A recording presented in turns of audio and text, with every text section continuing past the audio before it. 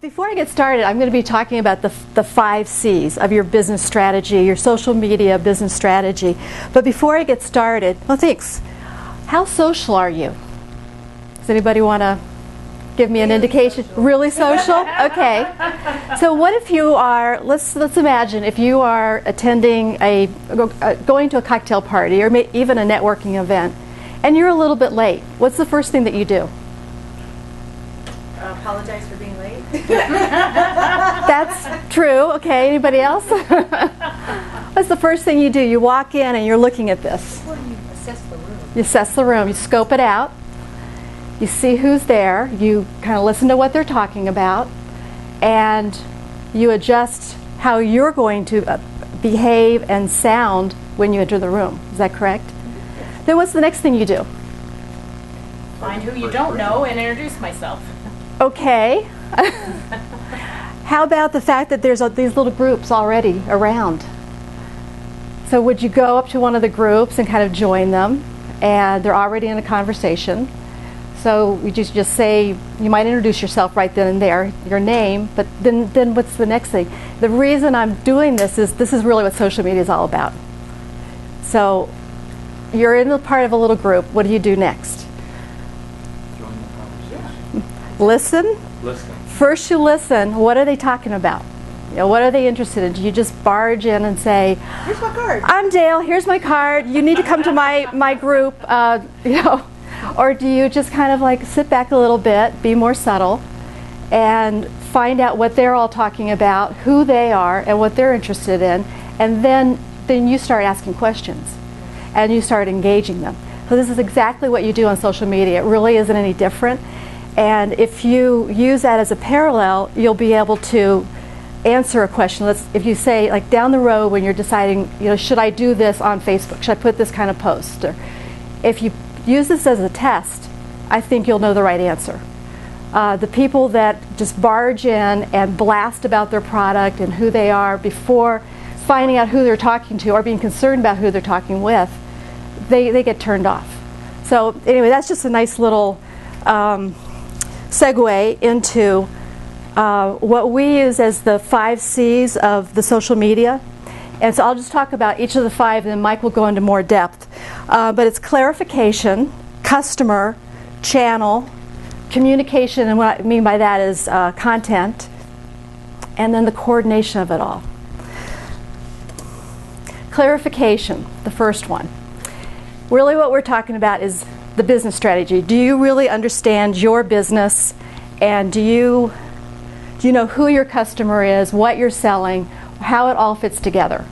And are you that person who's just like, I have no idea? You know, so what we, we really help you to clarify the business strategy. And let's see this. Oh, I guess I'll use my the computer instead of that because I'm more used to it. Um, so you, we use a framework for this, and I'm, we can spend hours and hours and hours on this framework, but I just wanted to introduce it today because our other group on Friday has really gotten into it to the point where anytime they have a new idea, I get a call or an email saying, you know, how would you start this, um, this lean canvas? It's called the lean canvas, and it's just a one-page business plan that helps you get to the essence of, a, of your business. And you start off, there's a, a sequence to it where you start off with what the problem is that you're solving with your business product who you're solving it for, the target customers, how you you know what the solution is. Have, are you describing it correctly? And if it has the um, the features that address those problems and solves those problems, how, the unique value proposition. So each one of these, just to back up a little bit, we've spent an entire class on these. Uh, but the unique value proposition, how you're different than your competition and so why somebody, what your unique value is, so why somebody would want to buy your your product instead of some your comp- competitors. The unfair advantage is something that's a little new uh, to the typical way everybody looks at this, and that is, what do you have that nobody else can easily buy or copy? So, for example, um, I just just to give you an example of that there's a new networking group in town that I'm part of. It's uh, I'm in the, on the leadership team. It's international. So our unfair advantage, really, over all the, the networking groups that are out there right now in Tucson, is that there's an international presence. It's connected internationally. Then what the channels are, which is one of our five C's, and that's the paths, SEO, um, any of your social media platforms, how you reach them. Then we even go into the key metrics, which ones are working for you, how do you know that they're working for you, what are you measuring, and by demand, if people want it, we can talk about the cost structure and the revenue. Because what I find is most people come to Smart Group for marketing, and so when I start bringing up finance, which is truly my background, it's like, you know, everybody starts looking away and down, and so and looking really bored. so. I just want to tell you, leancanvas.com, you can go fill this out online for free. Okay. Lean, Canvas, and the thing is, it gives you the, the framework for it, but it doesn't tell you how to do it. But it's, it's nice because then you, if you can start filling it out and then you can bring it in, ask us questions, and we can continue. But so the first one, well, the second one after clarification is customer. And what we really emphasize here in Online BizSmarts is customer focus. You know, not product focus, not industry focused so much, but who your customer is. Everything is based on that. That's who you're talking to with your social, with your online marketing. So that's what our primary focus is. Uh, what are their pain points? I had a few notes here, but I don't know if I even need them. Um, and what your solution is. And one of the, uh, the quote I really like here, I, I've used it several times, is Henry Ford said, If I had asked people what they wanted, they would have said faster horses. So it gives you an idea of how you have to think beyond what even your customer says to you. It's important to talk to your customer and find out what they want. But for you to really understand the nuances of it, you got to think a lot further than that. Um, then the, uh, the next area of the five C's is the channels, and there are so many, as you all know. You've got your inbound and your outbound, pull, push. Inbound is more of the pull and more of the social media, and push is more of the blatant advertising, more traditional advertising, or it could even be email marketing. And so, what we all do is a combination of both internet and traditional. How it, whoops back to that one. Um, however, we focus on the internet, of course, and mostly on the pull. So I don't think I don't know if you guys can see that this from here, but um, I just thought this was an interesting graph because it shows in the blue where we are today and where we're expected to be in two years. So, why are you laughing? No, I'm sorry. Oh, okay. I thought maybe there was something funny. It's just a little cold in here. Oh, okay. It is a little cold. um, but and in the pink, you see how it's changed since December of 2009. So if anybody's thinking, oh, well, sometime maybe I'll try social media or, or internet marketing or online marketing, they're crazy because look how it's growing. So of companies in the U.S., two years ago, right no, right now, there's 56% of companies have a website. I'm really surprised it's that low. Within two years, they're predicting 66%. And the 56% is up 10% from 2009. So I, I will be posting these on our website so you can see it better. But then online advertising right now is 37% of companies use it, but uh, in two years it will be 54%. Shared network, and that's is very similar to social media presence, and the numbers are close. But all that is is that you're on a network where you're sharing information. So Facebook would be one, and LinkedIn. Uh, social media presence, 31% right now, uh, and that's just tra- changing really fast. So if you get in now, you've really got an advantage over your competitors. Uh, growing to 46% within two years. SEO, that's another way, um, way that Mike and I are really different. We really emphasize the SEO. Social media is really part of search engine optimization. Does, does everybody know what search engine optimization is? We have a question. Okay. No? SEO. SEO, search engine optimization, and that's how people find you on the web, mainly through Google. So that you're findable. Yeah. Yeah, you're findable. um, let's see. The the ability, I'll go skip down to the last one, the ability for customers to pay for products or services online, which uh, we do have for online BizSmarts. It's uh, 18% now. That's pretty small. I, I was really surprised, but it's growing to 29%. So mainly people are, are still not using it as a storefront as much as they could. I think that's potential that is missed. The channels that we'll mainly be talking about at uh, Online BizSmarts are, as I put up here, the SEO, social media, content, that's really big, and Mike's a real expert on content. You know, how you write your content to appeal to your customers and to engage them. Uh, public relations, email marketing, that's more of a, um, that's more of a push. and that's extremely critical, and most groups just ignore it. So, but it's very important to build your customer base with email marketing.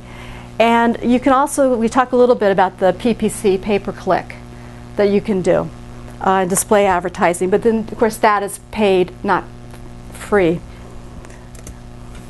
Um, I know Mike's going to go over the, uh, the different channels, so I just wanted to put them in perspective really quickly for you. Each one of these we spend a lot of time on.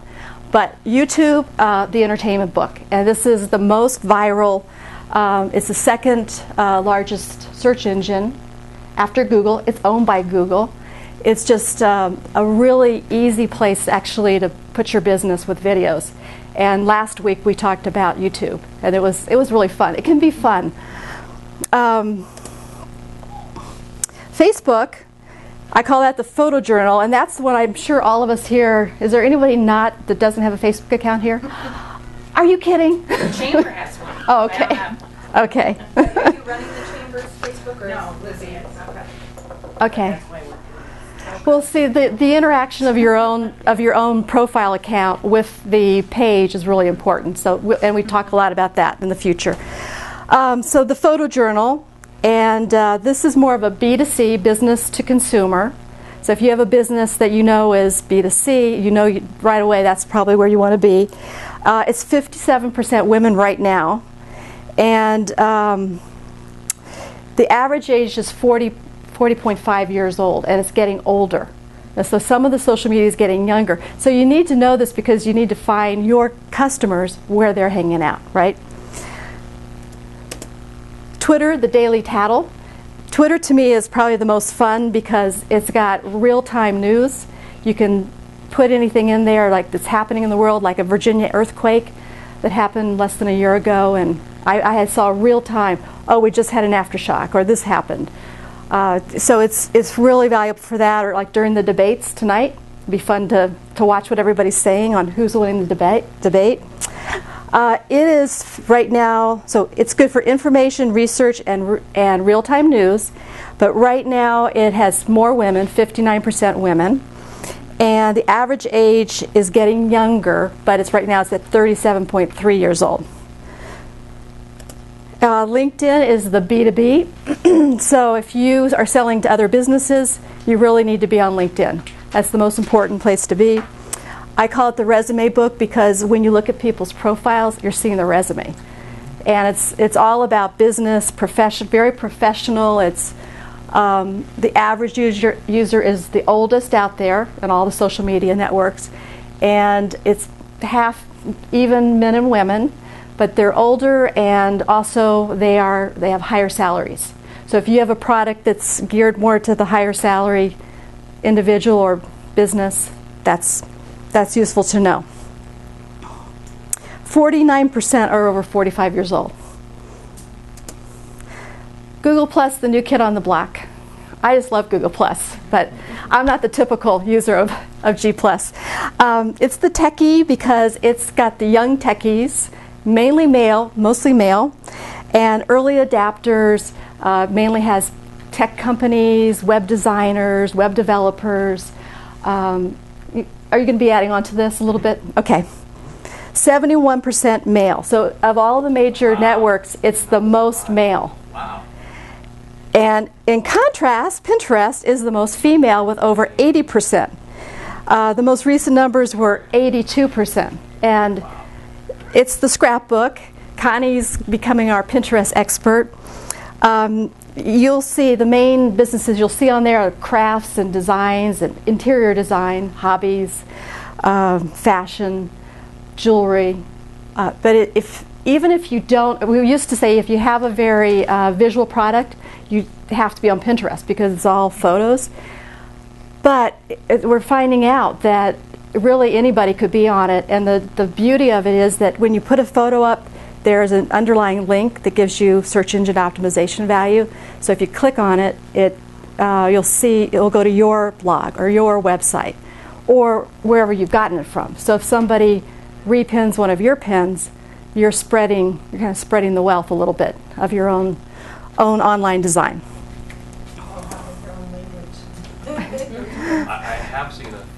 Real estate and mortgage uh, people use Pinterest. Mhm. So basically, the way I've seen it done is that they'll find these just crazy, wild designed houses that, you know, odd Mhm. shapes built into the rocks, different things like that. Or the one that was hanging over the stream in Costa Rica yeah, yeah, that, was that I had. so that kind of thing, but then it links back to your, you know, real estate Mhm. blog or your mortgage blog. Uh, you're talking about, you know, the dream of a home, and that's that might be fantasy dream, Mhm. but you're still connecting the dots to Yeah. um, that you you offer a service and, and you're engaging people that are going to come back and look at your pin board and see what you've listed, but you're not forcing it on. You're not out there selling, selling. Um, yeah, I started. The fluffy kind of version of It, social media. is a very Yeah, warm well- and fuzzy, I would say. Okay. Is that fair? It's I'm supplement. trying to figure this Well, I, I, out. it's just that I've seen a few people start to use it more for, um, you know, instructional things where not video, but where they're like they're you know just photos of stuff and it'll be all one board. Will be sort of an instruction thing or Mhm. just kind of stuff you want to know. So I, I feel like you know same thing for Pinterest and for Google Plus. They're starting.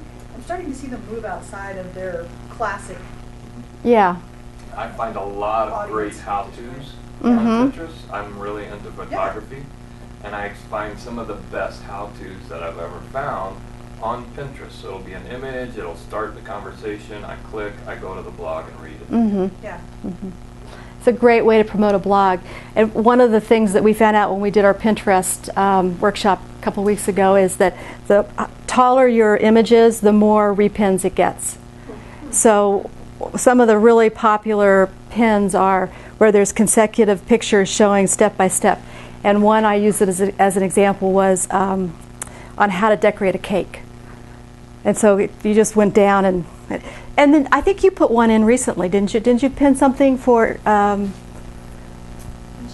mhm. Yeah, And that there was a, a long series of pictures, but all in one image. So we'll we'll be talking more about Pinterest. It's and Pinterest is so much fun. The two last areas are going to be communication and coordination, and we'll spend lots of time on what kind of content you want to communicate, you know, who you're talking to, what they're interested in, what, how to engage them. Mike always talks about what's very shareable. Uh, so it's, um, and then how to promote that content. And it's important to remember with your content that um, that you first decide on your content strategy and then the mechanics of it come next. So everybody comes to our, our groups and they want to know how to do everything, but they first need to know that strategy and build their content, and then the mechanics of here's how I post it, here's how I share it, here's how I promote it. Uh, let's see, the last thing is the coordination. How do we put it all together? That's what we talk about every single week. Uh, there's um, the best advice I can give. There, there's so much involved. Um, but the best advice is if you're just starting out, get really good at the first one that is the most appropriate for your business, and then to add in a second one. But get very comfortable um, building that content and identifying why your business is online, who you're talking to, and what you're talking about. Uh, so anyway, that's those are the five C's of um, our social media business strategy. And if uh, if you come every Friday or every Thursday, this is Thursday. okay, every week I shall say, it will start all start fitting together. So covered a lot in just one time. And now it's Mike's turn.